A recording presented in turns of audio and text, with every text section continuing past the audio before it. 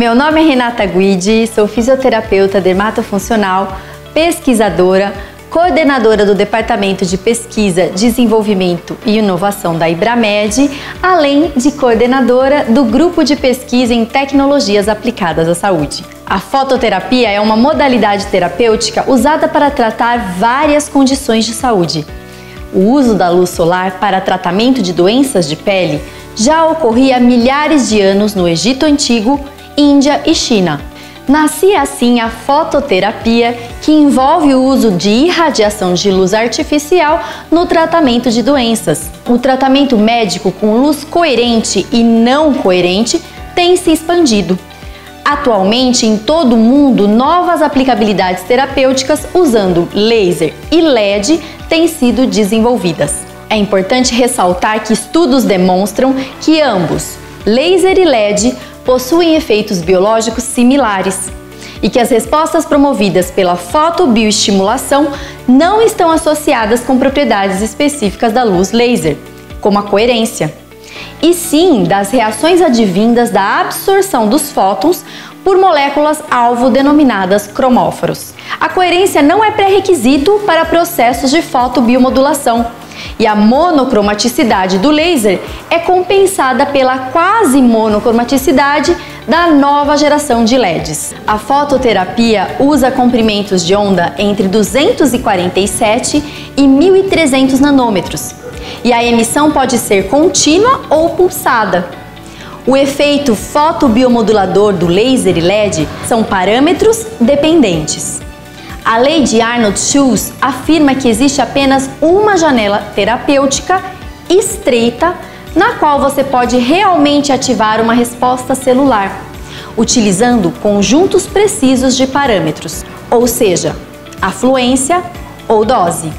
Esta lei descreve que a baixa estimulação excita muitas vezes e provoca forte reação e um estímulo moderadamente forte normalmente inibe e inverte o efeito. Na prática, se a intensidade da luz é menor que o valor do limiar fisiológico para um determinado tecido-alvo, não produz efeitos fotoestimulatórios, mesmo quando o tempo de radiação é prolongado.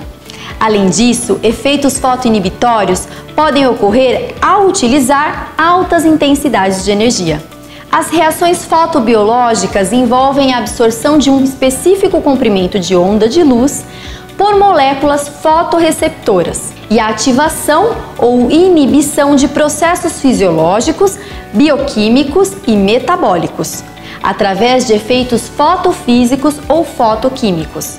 De acordo com a literatura, as reações fotobiológicas podem ser classificadas em primárias e secundárias. As reações primárias derivam da interação entre os fótons e podem ser observadas poucos segundos ou minutos depois da irradiação da luz, enquanto que as reações secundárias são efeitos que ocorrem em resposta às reações primárias, em horas ou dias após a irradiação. O Antares é um equipamento de fototerapia por laser e LED a irradiação de fótons de baixa energia pela chamada laser de baixa intensidade ou por luz não coerente pode modular vários processos biológicos. Esse fenômeno é denominado fotobiomodulação, a qual pode ser realizada por meio de aplicadores clusters para uso em áreas de tratamentos maiores com diferentes comprimentos de onda no mesmo aplicador, ou probes para aplicações pontuais com comprimentos de ondas específicos e potências de até 180 mW. Os aplicadores clusters foram desenvolvidos com tecnologia inovadora, visando a distribuição uniforme da luz na área de contato, para que ocorram resultados efetivos, e apresentam configurações que combinam os comprimentos de onda de laser e LED com até 13 diodos por cluster com potências que chegam a atingir até 6.500 mW. Dessa forma, podem ser utilizados em tratamentos na área de estética, podologia, dermatologia, reabilitação e também laser puntura.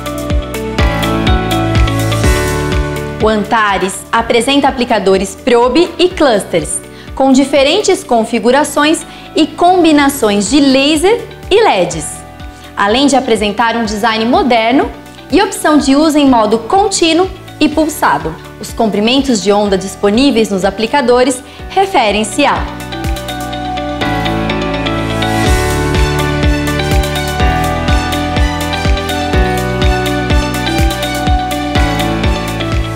Possui ainda presets que direcionam o usuário para a terapêutica ideal.